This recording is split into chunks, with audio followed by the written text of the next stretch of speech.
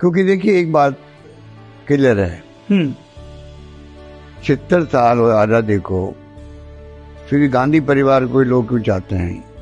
कांग्रेस की rank and file जो है वो इन पे विश्वास क्यों करती है? चाहे कोई धर्म का हो कोई जाति का कोई वर्ग का हो कोई भाषा बोलने वाला हो कोई चित्र का हो क्यों करती है? छिहत्तर साल कैसे कहते हैं? पिछहत्तर साल हो गए अब तो। जी। पचहत्तर साल के बावजूद भी गांधी परिवार को लोग क्यों विश्वास करते हैं? ये एक बहुत बड़ा अ, सवाल है।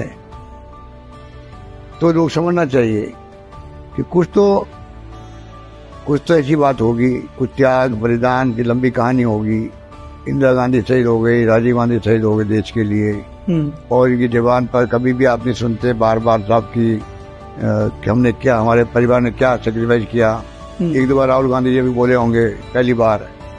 मैं कभी सुना तीस साल परिवार कोई पद पे नहीं है।